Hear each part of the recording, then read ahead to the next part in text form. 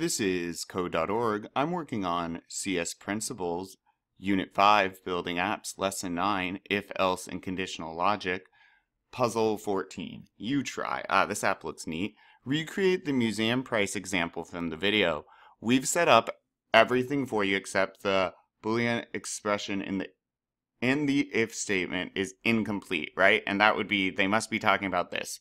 Right, so a boolean is true false statements and age less than 21 is going to be evaluated to true or false. The computer checks the age variable and says is it more than 21 or less and it returns true or false. So that's a boolean expression. Modifying the boolean expression it just yep use the and or to reflect the following conditions. If it's Tuesday or Thursday the age is between 20 12 and 21 they get a diff or the age is between, oh wow, 12 and 21, they get a discount. Else, they pay full price. Switching to text mode might be easier. All right. So if it is Tuesday, let's pay attention to all of this. Or, or, 21, 12, and, so guess what we're going to need? We're going to need an or, we're going to need an or, and then we're going to need an and.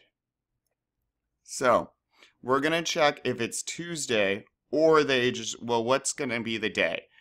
We're going to get text from this drop down and the variable day is going to be equal, set equal to that. So let's check, and remember you can use the equality operator on strings. So is day equal to Tuesday? Or is day equal to Thursday? Those are days? Yes. So if it is, then this side will be true. Or, and now we're going to do age 12 to 21. So if age is uh, okay to got it all right so if age is age is greater than 12 or and age is less than 21 okay? Then this code should run. So let's go through this that's kind of complicated. First we're checking and asking the computer is it Tuesday or Thursday? Are either of these true? If they are say it's Thursday. This is false but the computer says well maybe over here. True this is true.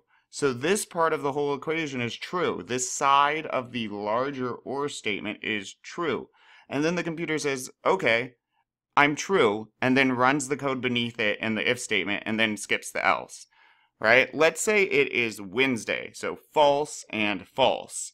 If both of these are false, then the computer will check in an OR statement the other side. It says, all right, but are they older than 12 and younger than 21? And if it returns true, then the whole statement the computer considers true. Okay, and then it drops down and runs the code. All right, let's see if it, well, works.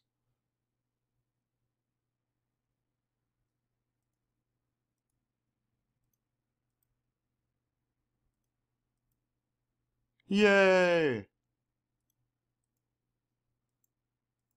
You get a discount. You get a discount.